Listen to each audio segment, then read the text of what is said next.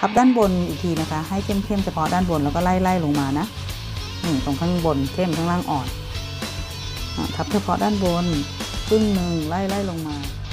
นะคะกำมือเดี๋ยวคุณครูก็จะกำหนดไว้แค่นี้นะ ถ้ากลางนิ้วก็ออกมาก็ประมาณประมาณเป้า สวัสดีทุกคน วันนี้คุณครูพรมาสอนวาดรูปกันอีกครั้งแล้วนะคะ วันนี้คุณครูพรจะสอนวาดรูปเด็กน้อยน่ารักคนหนึงนะคะ วันนี้คุณครูเตรียมไม้บรรทัดมาด้วยนะคะ วันนี้คุณครูจะสอนวาดรูปแบบ 2 ส่วนนะคะ ทีนี้คุณครูก็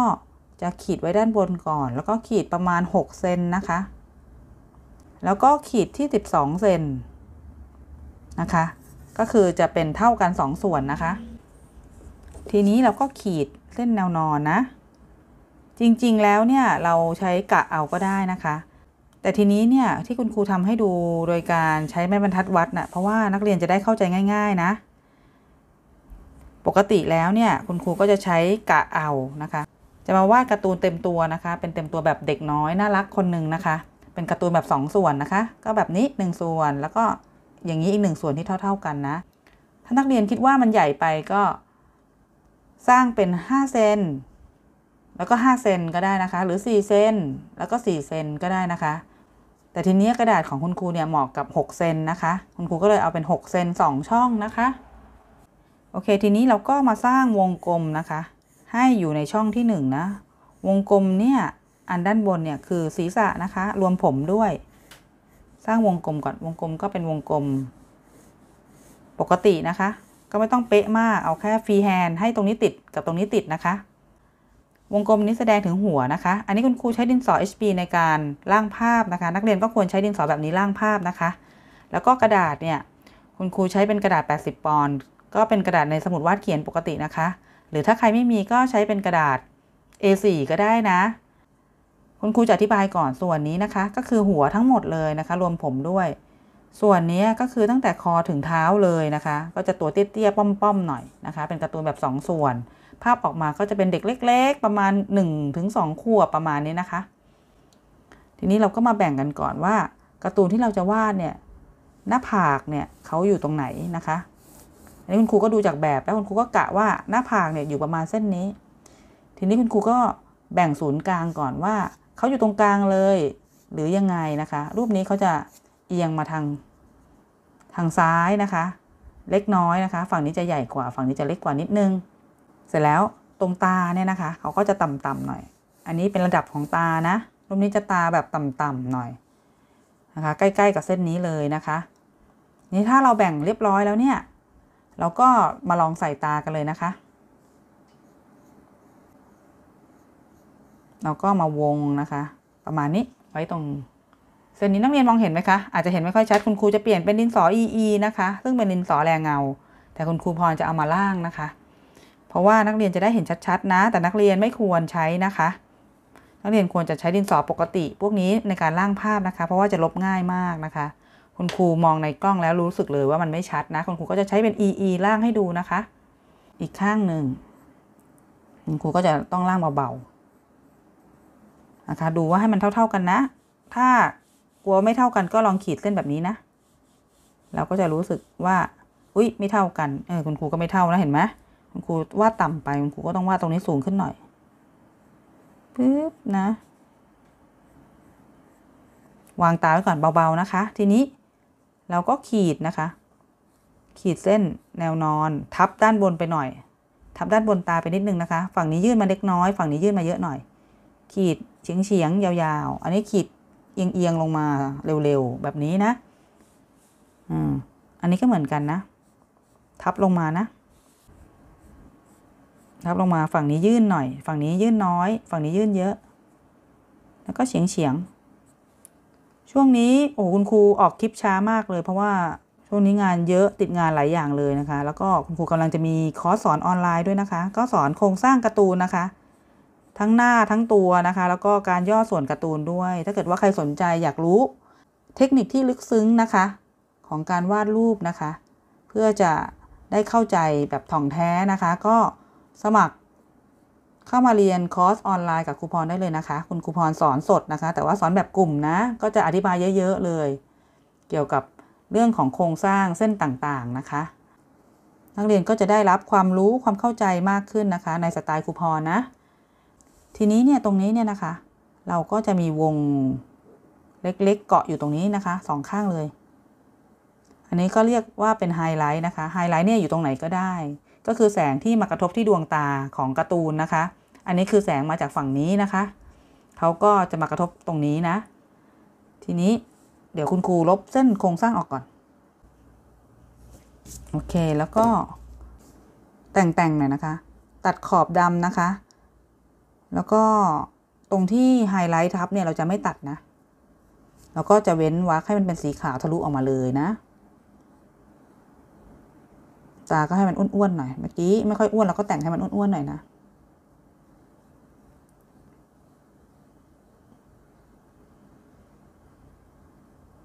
จมูกเนี่ย อยู่ตรงนี้เลย จุดเอาไว้เล็ก ๆ นะคะ จมูกรูปนี้จะใกล้ตาฝั่งนี้นะคะ เพราะว่าหน้าหันไปทางซ้ายเล็กน้อยนะคะ แล้วก็จมูกเนี่ยจะอยู่ประมาณระดับตาล่างนะ เพราะว่าจะเป็นการ์ตูนเด็กน้อยนะคะ จมูกก็จะสั้น ๆ สั้น ๆ ก็คือใกล้ ๆ ตานะ ถ้าการ์ตูนแบบโตขึ้นมาหน่อยเนี่ยจมูกเขาจะต่ำลงมานิดนึง ปากก็ห่างจากจมูกเยอะหน่อยมาใกล้ๆคางนะ อืม ปากก็เป็นรูปนี้นะ ทีนี้คุณครูลบรูปหน้าก่อนนะคะ ไม่ได้ใช้แล้วเดี๋ยวเราจะปรับรูปหน้าใหม่ละ ดูการ์ตูนเรื่องนี้แล้วก็จะรู้สึกว่าน่ารักอะไรเช่นนี้ ดูแบบนุ่มนิ่ม เหมือนดูตุ๊กตาเดินได้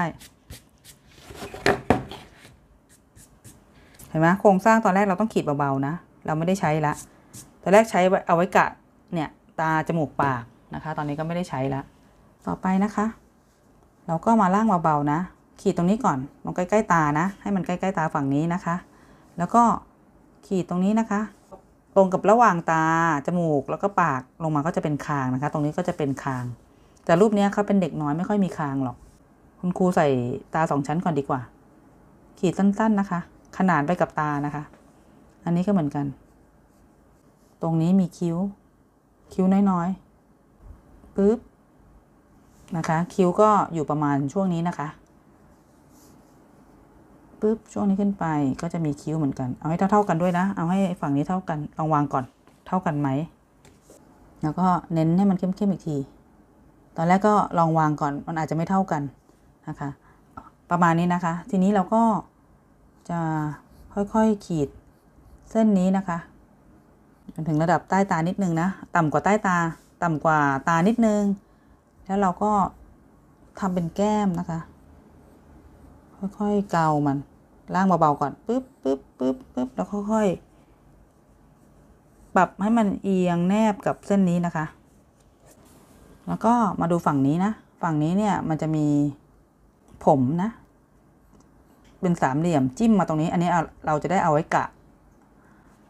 อยู่ใกล้ ๆ กับหางตาฝั่งนี้นะคะ เอาไว้กะง่าย ๆการ์ตูนแต่ละตัวเนี่ยมันจะขึ้นไม่เหมือนกัน ก็อยู่ที่เราแหละว่าเราสะดวกขึ้นแบบไหนนะคะ อันนี้ก็จะเป็นหูนะ ตัวหูเนี่ยความสูงประมาณกับชั้นตานะอ้อตรงนี้ก่อน ตรงนี้นี่เว้นวรรคนะคะตตรงกันนะนักเรียนขีดไปตรงนี้ก่อน ตรงมา เว้นวรรคนิดนึง แล้วเราก็ค่อยๆโค้ง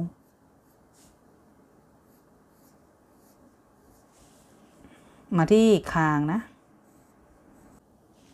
หูนะคะ ก็อยู่ระดับต่ำกว่าตาเล็กน้อยนะคะ เป็นติ่งหูแล้วก็ฝั่งนี้ก็ล่างเป็นหูปึ๊บเบาๆ ชุบนะคะ ส่วนใครที่ปิดเทอมแล้วนะคะ ก็มาฝึกวาดรูปกับครูพรได้เลยนะคะครูพรก็ทำคลิปสอนวาดรูปเยอะมากเลยนะ มีหูฝั่งนี้ด้วยเท่า ๆกันนะ แต่จะเห็นน้อยกว่า คุณครูพรทำคลิปสอนวาดรูปไว้เยอะมากเลยนะคะ บางตัวที่เราไม่รู้จัก แต่ว่าเราก็สามารถฝึกวาดได้นะคะ เพราะว่ามันจะให้ประโยชน์ในการวาดรูปกับเรานะคะ ส่วนตัวที่เราชอบเนี่ยเราก็คงอยากวาดอยู่แล้วเนาะเราได้หน้าแล้วโอ้ยหน้าน้องน่ารักมากเลยนะคะ จริง ๆ ตาเขาจะปือกว่านี้ เดี๋ยวคุณครูจะขีดให้ตรงนี้เนี่ยทับลงมาอีกหน่อย ให้ปลายสามเหลี่ยมเนี่ย แหลมๆหน่อยนะ ไม่ต้องยาวขึ้นแล้วนะ ไม่ใช่ไล่ไล่ไปเรื่อยๆ แล้วก็ยาวยาวยาวจบไม่ลงนะคะ อันนี้อีกทับลงมาอีกนะ ให้มันจะปือๆหน่อย น้องจะตาปือๆง่วงๆหน่อย ตรงกลางเนี่ยทับลงมาเลยนะ แต่ตรงริมก็แหลมเหมือนเดิมนะ อืมประมาณนี้ ทีนี้คุณครูก็จะแรงเงาตาเล็กน้อยนะคะปึ๊บระบายทับไปเลย ตรงสีขาว ของเออตรงไฮไลท์เนี่ย เว้นเป็นสีขาวไว้นะปึ๊บน้องน้อย น่ารัก อันนี้เป็นตัวละครน่ารักน่ารักจากอนิเมะเรื่องนักเรียนพี่เลี้ยงเด็กนะคะ น้องชื่อโคทาโร่ค่ะน่ารักดี จริงๆ ในเรื่องนี้มีเด็กหลายคนนะคะ ทับด้านบนอีกทีนะคะ ให้เข้มๆเฉพาะด้านบนแล้วก็ไล่ๆลงมานะ นี่ตรงข้างบนเข้มข้างล่างอ่อนอทับเฉพาะด้านบน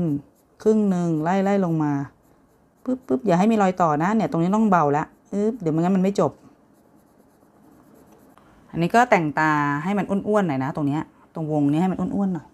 เมื่อกี้คุณครูรู้สึกว่ามันผอมไปนิดนึงคุณครูก็เพิ่ม แต่งแต่งให้มันดูอ้วนๆเดี๋ยวเรามาใส่ผมกันเนาะผมเนี่ย ตรงนี้เป็น หน้าผากใช่ไหมคะ เราก็ดูก่อนว่าผมเขาเนี่ยทรงไหนเนาะแล้วก็ค่อย ๆ ขีดลงมาก่อนโค้งๆโค้งๆโค้งๆประมาณนี้ เบาๆนะคะ แล้วก็ฝั่งนี้ก็ ขีดโค้งๆลงมาถึงสามเหลี่ยมนี้นะ ค่อยๆโค้งเบาๆลงมาอย่างนี้เบาๆนะ เส้นนี้เดี๋ยวเราจะเอาไว้กะผมข้างหน้านะ แต่เดี๋ยวใช้เสร็จก็จะลบทิ้งนะคะ โอเค เดี๋ยวเราก็มากะผม ตรงกลางกันก่อนนะ เล็กๆอะน้ำแหลมลงมานะประมาณนี้ อันนี้ก็ค่อมกันนิดเล็กน้อยนะคะ ส่วนตรงนี้ก็เอียง นี่นะ แล้วก็เอียงอีก ตรงนี้เนี่ยชนกับเส้นที่เรากะไว้นะคะ แล้วก็ค่อยลากลงมาปึ๊บนะ ค่อย ๆทำตามคุณครูนะคะ ใครทำไม่ทันก็กดหยุดไว้แล้วก็ย้อน คุณครูต้องนับว่ามันกี่อันหนึ่งสองสามสี่คนไหนทำไม่ทันก็กดหยุดไว้นะคะ แล้วก็ย้อนไปดูในส่วนที่เราทำไม่ทันเนาะย้อนคลิปไปดูนะปึ๊บนะคะ แล้วก็อันนี้เนี่ยใช้เส้นนี้เลย แล้วก็ มีผมลงมาปึ๊บเงี้ยอ่าเราทำอีกข้างนะ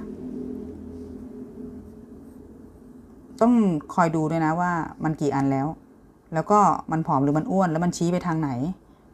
อันนี้ก็จากเส้นที่เราหยุดไว้นะ เออ จากเส้นที่เรากำหนดไว้นะลากลงมาเอียงขึ้นไป จากเส้นที่เรากำหนดไว้ ลากลงมาเอียงขึ้นไป มันก็จะใกล้เคียงกับที่เราในแบบของเรานะคะ เราก็ต้องคอยดูว่าตรงนี้มันยังอยู่ตรงประมาณคิ้วอะไรอย่างเงี้ยนะคะ คอยดูด้วยไม่ใช่แบบว่า คุณครูทำอยู่ตรงนี้หนูไปถึงตรงนี้แล้วอะไรเงี้ยแสดงว่าเราลากยาวไป ก็ค่อยๆสังเกตอย่างตรงนี้เนี่ย จิ้มลงมาเนี่ยระดับเดียวกับคิ้วนะเราก็คอยสังเกตไปนะปึ๊บอ่าอันนี้สุดท้ายละมันก็จะใกล้เคียงเนาะทีนี้เราก็ลบเส้นที่เราล่างเป็นวงไว้เมื่อกี้นะ จะลบยากหน่อยก็อาจจะเอายังลบตรงที่มันตรงที่มันเหลี่ยมๆอะนะมันก็จะลบเส้นเล็ก ๆ ง่ายปึ๊บปึ๊บนี่ได้ผมข้างในแล้วน้องน่ารักเหลือเกินต่อไปทำผมข้างนอกนะคะ ก็สร้างกันใหม่อีกทีนะคะ เพราะว่าหูเพิ่งเสร็จ เพราะว่ามันออกมาจากตรงนี้ของหูนะ แล้วก็ตรงนี้ของหูจิ้มไว้ก่อนนะสองจุดนี้นะคะ แล้วก็อันนี้ก็ข้างบนนี้แหละปกตินะ แล้วก็ค่อยๆล่างตัวนี้นะ ขึ้นไป มันก็จะผมมันก็จะใหญ่กว่าเส้นวงกลมตอนแรกนิดนึงนะ แต่ว่าตรงข้างบนนี้ก็จะใกล้เคียงปุ๊บนะ ตรงนี้ก็จะเอาให้มาถึงตรงนี้ใช่ไหมแล้วก็โค้งกว้างๆอ้วนๆหน่อย คล้าย ๆ แบบมันทรงคล้ายๆสี่เหลี่ยมนะ ไม่ใช่แหลมๆอย่างนี้นะ ผมมันผมมันก็จะ อ่า เหมือนเหมือนสี่เหลี่ยมแต่มนๆอย่างเงี้ยนะ เป็นวงกว้างๆนะคะ ทีนี้เราก็ทำอันไหนก่อนดี ก็ดูจากรูปนะว่าเราควรจะทำอันไหนก่อน อันนี้แล้วกัน ผมที่ชี้ขึ้นไปดูจากคิ้วนะลากขึ้นไปปุ๊บตรงนี้ ชี้ออกไปเลยเบาๆนะ ตอนนี้ยังไม่ชัวนะเบาๆกันก่อน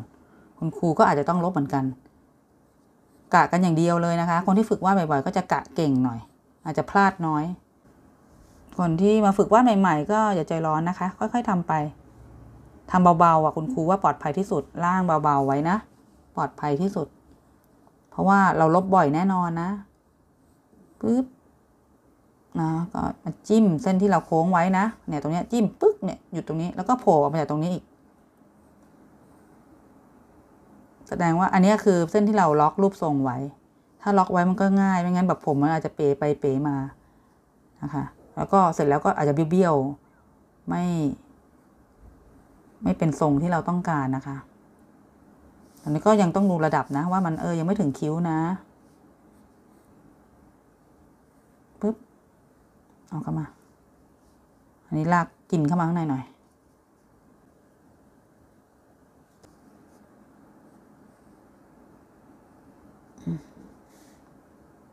ปึ๊บ อีกเส้นหนึ่งปึ๊บ แล้วก็เข้ามาที่หู อ่า ปึ๊บ ก็ดูด้วยนะว่ามันชี้ไปทางไหนนะ ดูเนี่ยทิศทางของความแหลมเนี่ยมันชี้ไปทางไหน แล้วก็คอยดูว่าเป็นแนวนอนแนวตั้งแนวเฉียงอะไรอย่างเงี้ยนะปึ๊บออกไปแล้วก็กลับเข้ามาอ่าเข้ามาชนกับเส้นที่เรากำหนดไว้ เลยเข้ามาหน่อยก็ได้ แต่ว่าตอนออกไปเนี่ยมันก็จะชนกันตรงนี้พอดีอ่าแอบโค้งนิดๆแล้วก็แอ่นออกไปปึ๊บ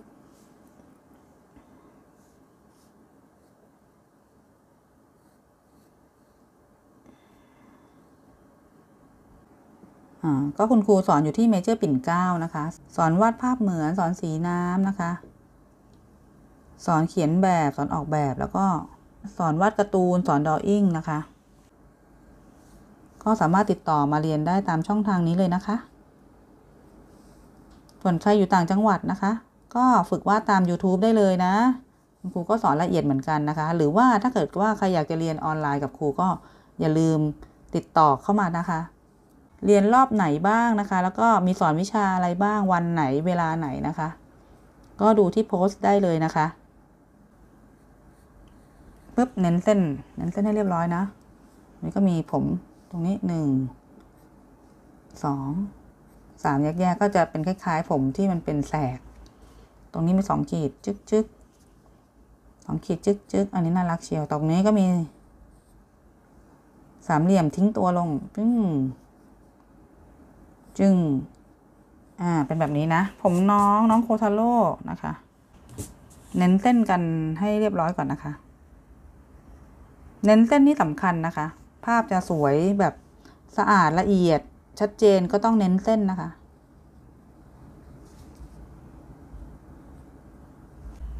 หัวก็อยู่ในส่วนของช่องที่หนึ่งเรียบร้อยแล้วนะคะ ช่องนี้เนี่ยจะเป็นช่องของตัวถึงเท้าเลยมามาดูกันเราจะทำยังไงนะคะ ทีนี้เราก็มาดูก่อนว่า รูปนี้เนี่ย ตัวมันหันไปทางไหนนะคะ แล้วมันขนาดประมาณไหนปึ๊บน้องมีพุงด้วยอะ ขีดแบบขีดตัวก่อนนะปึ๊บนะคะ ยังไม่ใช่เส้นจริงนะคะ ต้องล่างเบาๆเดี๋ยวต้องลบนะ ตรงนี้นะ แบบนี้ฝั่งนี้ใหญ่ฝั่งนี้เล็กนะคะเขาหันยืนหันข้าง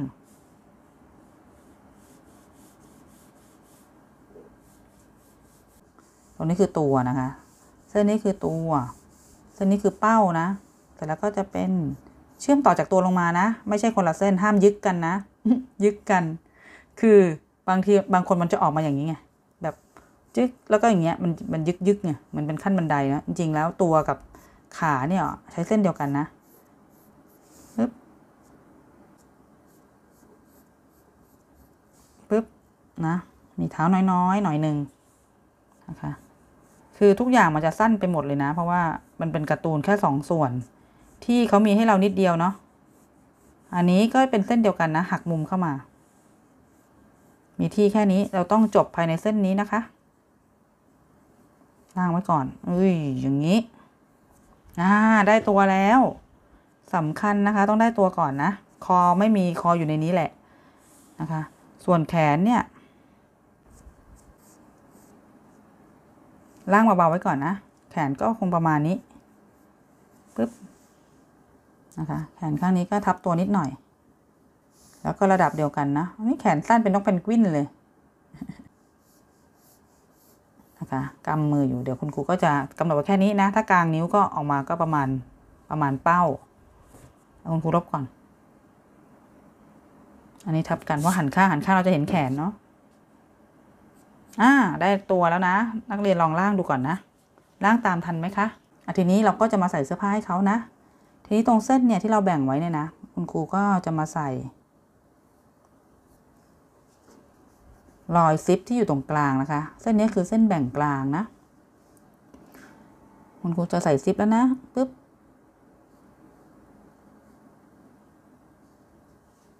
อันนี้คือ ที่ดึงซิปนะ ต่อไปคุณครูก็จะใส่คอเสื้อนะ อันนี้ตรงนี้เลย กลมๆตรงนี้นะปึ๊บมาเลยนะโค้งๆเป็นนวมๆหน่อย ฝั่งนี้ก็อยู่ใต้คางตรงนี้นะเขาจะใส่เสื้อแบบเสื้อหนาวๆหน่อยปึ๊บก็มาชนกันตรง ตรงนี้ของซิปนะ แล้วก็ ตรงนี้นะ ตรงที่ แยกแขนกับตัวเนี่ยนะคะ เราก็ใส่เส้นรอยยับของผ้านะ แบบนี้ตรงนี้ก็เขาพุงป่องๆหน่อย แล้วก็ทำให้พุงมันป่องหน่อยแบบเสื้อมันหลวม ลงมาตรงนี้พุงมันก็จะป่อง อันนี้เส้นนี้เส้นเดิมเนาะให้มันป่องๆหน่อยปุ๊บตรงนี้นะ เส้นใส่เสื้อปุ๊บเสื้อมันก็จะโค้งๆประมาณนี้นะโค้งนิดหน่อยนะถ้าตรงก็คือมันจะตรงแนวอันนี้มันโค้งนิดเดียวนะแล้วก็ตรงนี้ก็อ้วนๆออกไปแบบนี้ เดี๋ยวข้างในลบก่อนนะปึ๊บอ่าอย่างนี้นะ ทีนี้ก็มีอีกชั้นหนึ่งนะ เสื้อเนี่ยเขามีขอบชายเสื้อ ก็ขนานกันไปนะปึ๊บปึ๊บปึ๊บอ่าก็คุมเข้ามาที่ขาเสื้อใส่เสื้อเนี่ย เสื้อมันจะใหญ่กว่า เสื้อมันจะใหญ่กว่าขานะมันก็จะได้คุมได้ ต่อไปตรงเนี้ย มันก็จะเป็นรอยซิป ทีนี้รูปนี้เขาอ้วนก็เลยรอยนี้ก็จะอ้วนๆออกมาหน่อย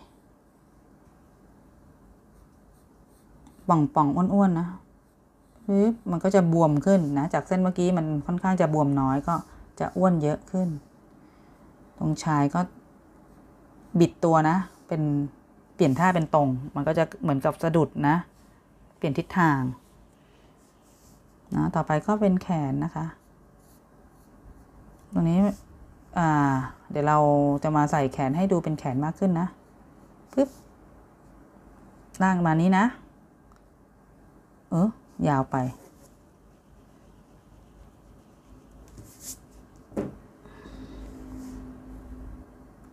ปึ๊บนะ แล้วก็ใส่อีกชั้นหนึ่ง เป็นขอบนะประมาณนี้ แล้วก็มีมือนะ มือก็อาจจะเล็กกว่าเสื้อนะ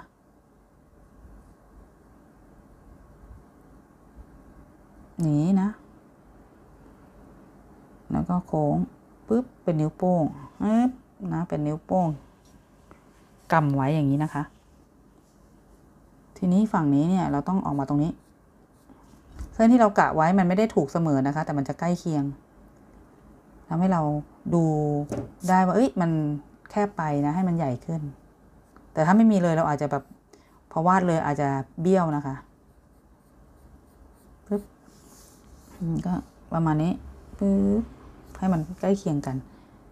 โค้งๆหน่อย โค้งๆหน่อย แบบนี้นะ ส่วนตรงนี้ก็จะเล็กลง เป็นข้อมือ นักเรียนก็ช่วงนี้ปิดเทอมกันแล้วหรือยังคะ หรือว่า หรือว่ากำลังสอบกันอยู่นะคะ หลาย ๆ โรงเรียนก็ปิดเทอมกันแล้วนะ หลาย ๆ โรงเรียนก็ยังไม่สอบเลยนะคะ ก็คนที่ปิดเทอมแล้วก็ดีใจด้วยนะได้พักแล้วนะคะ หวังว่าเปิดเทอมหน้าเนี่ยเราจะได้ไปโรงเรียนกันครบนะคะ เพราะว่าเนี่ยด้วยสถานการณ์โควิดนี้เราไม่ได้ไปโรงเรียนกันแบบเต็มที่นานแล้วนะนะคุณครูพรก็สอนแบบไม่เต็มที่นะเปิดเปิดปิดปิดเหมือนกัน อันนี้นิ้วนะคะ ลากลงมาแต่ว่าช่วงปิดเทอมก็จะมีนักเรียนมาเรียนกันค่อนข้างจะเยอะนะคะชึบตรงนี้เล็กไปหน่อย ขยับขยับ ค่อยๆแต่งไปนะคะ นักเรียนก็อย่าเพิ่งเข้มนะ ให้ชัวร์ก่อนแล้วค่อยตัดเส้นนะ คุณครูต้องทำเข้มๆเพราะว่า จะให้นักเรียนเห็นชัดๆนะ โอเค ก็หวังว่าเปิดเทอมนี้นี่เราคงจะได้ไปเรียนกัน ที่โรงเรียนกัน ได้ครบทุกคนนะคะ ไม่ต้องเปิดเปิดปิดปิดๆกันนะ ช่วงนี้โควิดก็ แปรเปลี่ยนนะคะ เป็น เขาบอกว่าจะเปลี่ยนเป็นโรคประจำถิ่นแล้วนะคะ เพราะว่ามันคงจะติดกันเยอะแยะไปหมดนะคะ ก็แบบติดแล้วไม่อันตรายเหมือนเมื่อก่อนเท่าไหร่แล้วนะ ก็เขาก็จะเปลี่ยนเป็นโรคประจำถิ่น ตรงนี้มีรูปมแมวหรือเสือเสือนะ เดี๋ยวเราทำวงรีกันก่อนลงวงรีแบนๆนะคะ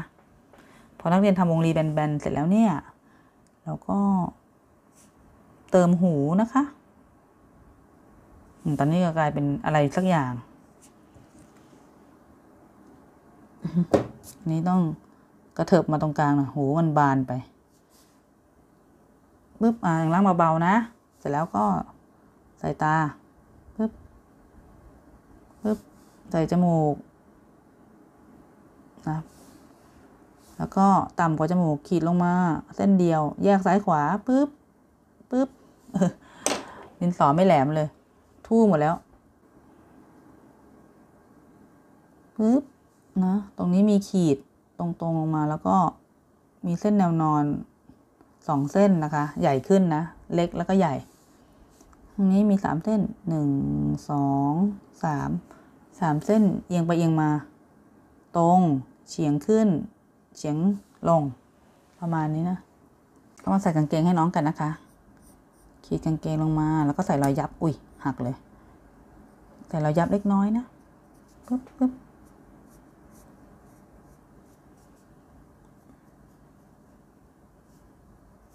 ก็อันนี้ก็เอียงเอียงไปทางนี้นะ เบาๆไว้ก่อนนะ ใส่ต่อใส่เท้านะปึ๊บเท้าก็ออกมาจากในกางเกงนะคะ ก็จะต้องเล็กกว่ากางเกงนิดนึง ตรงนี้นะคะ เฉียง นี่นะเป็นรอยดึงของกางเกงช่วง ช่วงหว่างขานะคะ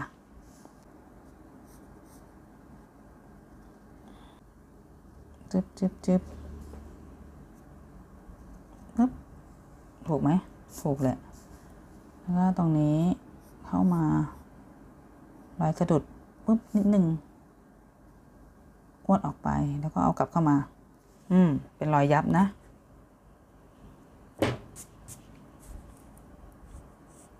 เห็น แล้วก็ใส่เท้านะ เห็นเล็กๆอย่างเงี้ยมันก็มีทิศทางของมันนะคะ ต้องสังเกตดีๆ เดี๋ยวมันจะยืนไม่ได้นะ แตะที่เส้นพอดีเลยนะ นี่เราก็ล่างเสร็จเรียบร้อยแล้วนะคะ ก็เป็นการ์ตูนสองส่วนเห็นไหมคะว่า หัวเนี่ยตั้งแต่ศีรษะถึงคางหนึ่งส่วนยกลงมานะปุ๊บสองส่วนเท่ากันพอดีเลยนะคะ ก็ดูจากเส้นก็ได้นะคะ ที่คุณครูขีดไว้เท่ากันสองเส้นนะ เส้นละหกเซนนะ เห็นไหมว่า การ์ตูนสองส่วนอะก็จะได้การ์ตูนแบบน่ารักน่ารักสไตล์นี้นะคะนี่ตรงนี้ต้องขึ้นหน่อยหัวต้องเถิกๆหน่อยนนะคุณครูตรงนี้คุณครูจะแก้นิดนึงให้เอียงขึ้นหน่อยเออตรงนี้หัวน้องไม่ค่อยเถิกเลย ให้หัวน้องเถิกๆหน่อย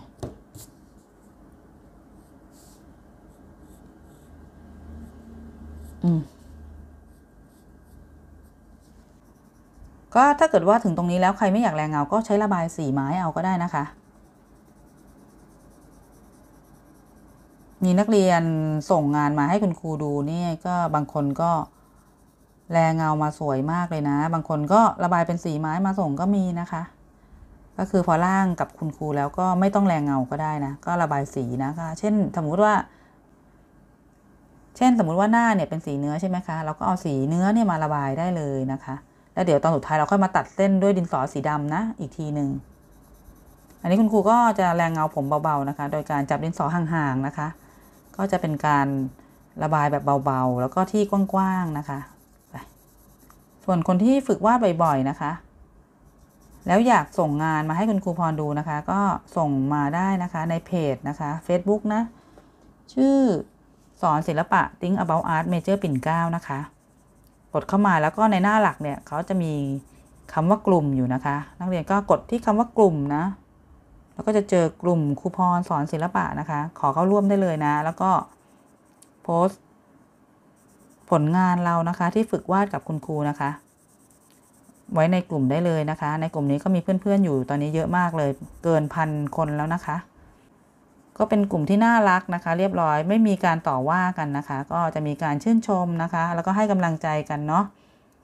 ก็ทุกคนก็ชอบศิลปะนะคะ ก็มาฝึกวาดรูปด้วยกัน แล้วก็คนที่ฝึกวาดรูปตามคลิปครูนะคะ แล้วก็ส่งงานมาให้คุณครูดูเนี่ย คุณครูก็ครูก็จะทยอยนำมาโพสต์โชว์ในคลิปสอนนะคะ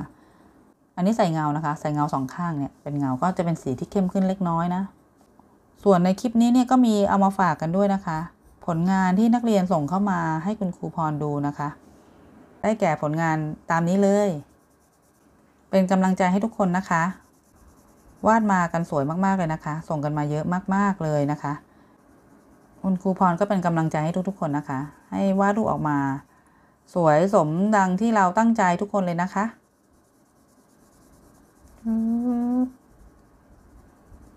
ตรงนี้แรงเงาเบาๆนะ สบายๆ ลบเส้นโครงสร้างกันด้วยนะ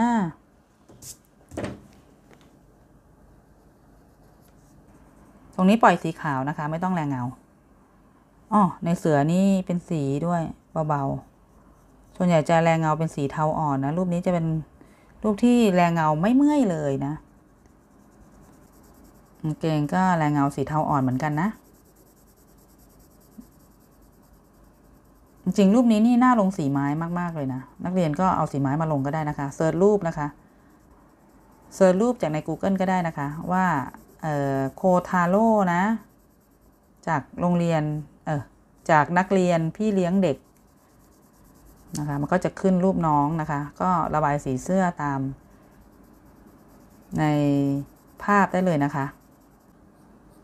ปึ๊บเนี่ยใส่เงานิดนึง เงาของหว่างขา